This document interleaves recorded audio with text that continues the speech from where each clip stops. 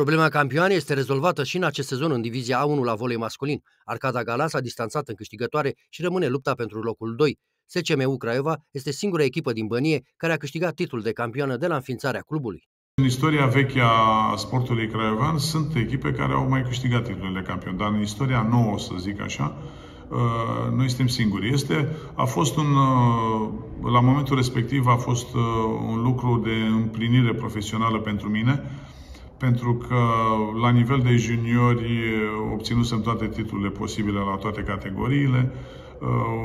Cu lotul național, iar la fel avusesem, participasem la, la rezultate deosebite, dar singurul meu regret era că nu, nu reușisem să ies campion ca antrenor. Pascu a explicat și de ce a luat dublură capitanului Craiovei, Laurențiu Lică, un jucător care la 42 de ani a fost declarat cel mai bun volebalist român în sezonul trecut.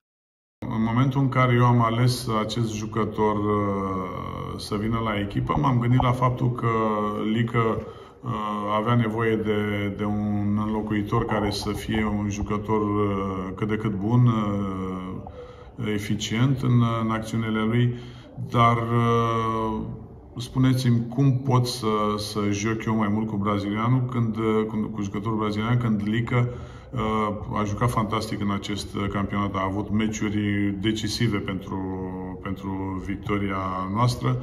Meciul dintre SCM Craiova și Arcada Galați se va disputa în polivalenta din Bănie, sâmbătă cu începere de la ora 18.